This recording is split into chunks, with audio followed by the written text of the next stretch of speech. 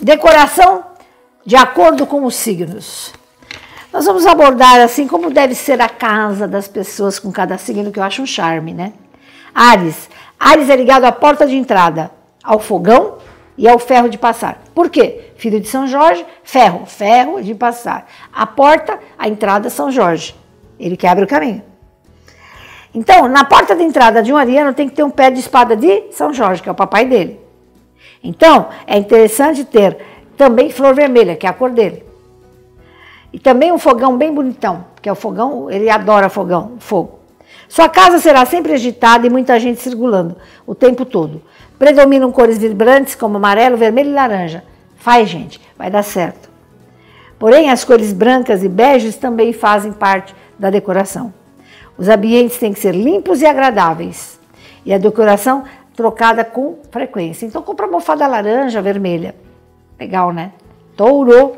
O taurino é ligado à sala de jantar, lógico que gosta de comer, e ao cofre, lógico que gosta de dinheiro, e ao sofá, lógico que gosta de descansar. Eu mesmo, eu minha, eu minha. É interessante colocar uma pedra de esmeralda nesses ambientes. E todo taurino é filho de São Sebastião, que é o Oxóssi. Tem que ter uma fruteira com cinco tipos de fruta para ter boa sorte. Legal, né? Quartos de taurino têm que ser ventilados e claros, cores alegres. E, e, e como chama aquilo, gente? Lençol de taurino tem que. Uh, põe lençol de cetim, filho, ele adora. Faz isso pro teu marido. Gêmeos, Jojos. O geminiano é ligado ao corredor, ao escritório e às cadeiras.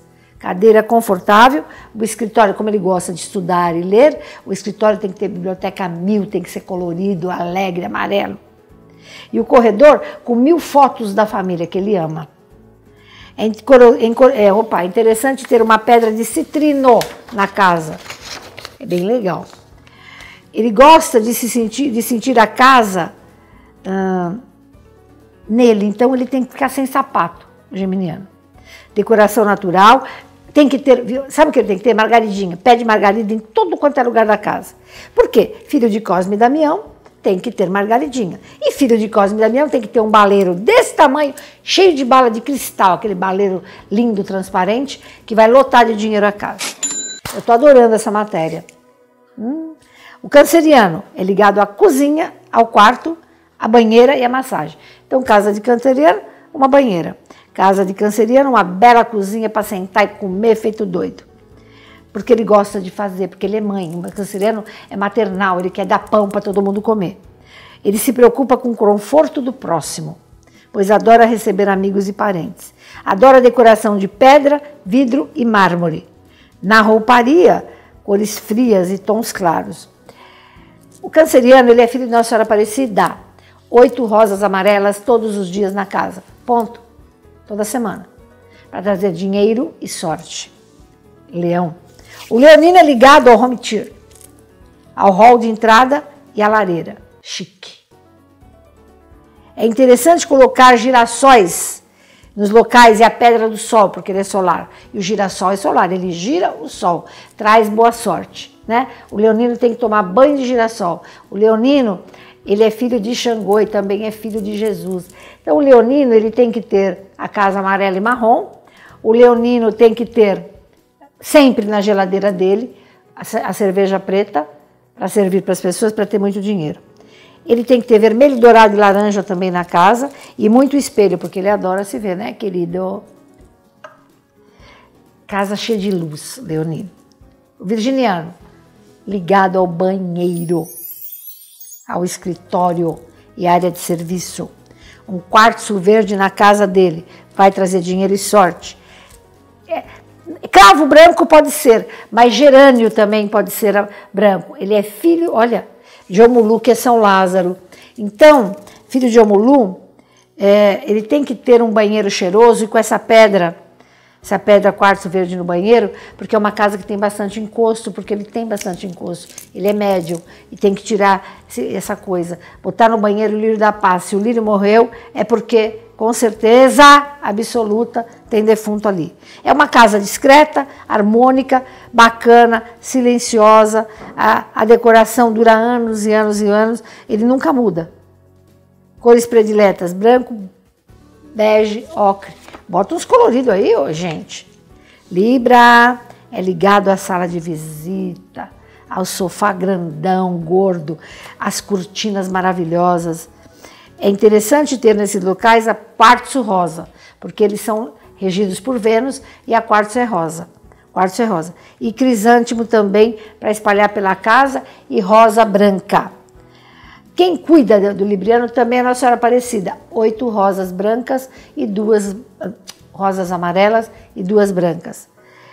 Ele, o libriano cuida muito da sala e do quarto. São locais em que eles ficam bem. Tem que ter casa cheia de quadro, spray, perfumadinho, lavanda de preferência, muitas cores vermelho, pêssego salmão. A sua casa é a casa para receber amigos. É mesmo. Escorpião. Escorpião ligado ao banheiro, adora uma banheira, um chuveiro, e é o quarto do casal que tem que ser um tesão de lindo. E espelho no teto, espelho não sei aonde, abre não sei o quê, frigobar, tudo isso no quarto. É entender por quê? Porque é sexo, né? Escorpião ligado a sexo. Ele quer um lugar, um frigobar lá com, a, com as bebidinhas dele. É interessante colocar nesses, na casa deles a pedra granada e a azaleia, a casa toda. A casa dele é exótica, sedutora e romântica. Hum, tá? Eu também acho. Ele é filho de Santana, avó de Jesus. Lençol de cama lilás. É a cor de Santana, que é a avó de Jesus, e a orquídea dessa cor roxa que está no vídeo. É legal isso, hein? Cada dia ele vai mudando alguma coisa, sabe? Na casa, mais misteriosa vai ficando.